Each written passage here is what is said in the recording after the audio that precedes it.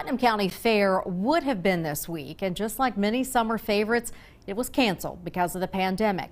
But as 13 News reporter Lily Bradley found out, one of the more popular events lives on thanks to some creative thinking and some pretty hardworking kids.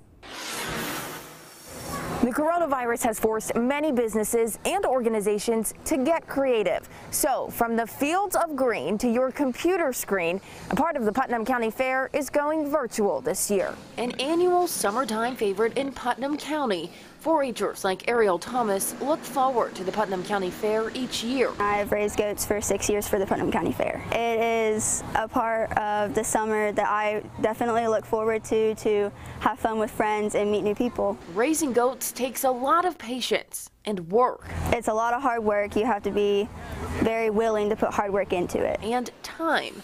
So when the fair was canceled, Ariel says she was worried that her hard work would be for nothing. All of these kids had raised these animals and started their projects long before COVID ever became a thing. And so we wanted to come up with a way for them to be able to go ahead and sell their animal, recoup some of the expenses that they've had, and still have somewhat of the experience that they would have had at the fair. So the livestock portion of the event is being hosted virtually this year, and it's proven to be a success. It's doing very well. We had a, a good time at the weigh-in, and um, so we're moving forward the best we can.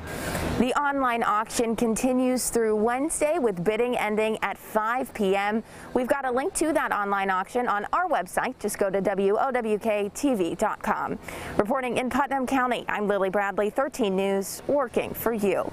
And with hiccups in the supply chain, the pandemic has made a lot of people seek out locally sourced food. Parsons said they already have agreements with meat processing plants, so actually there won't be a wait for those who purchase animals.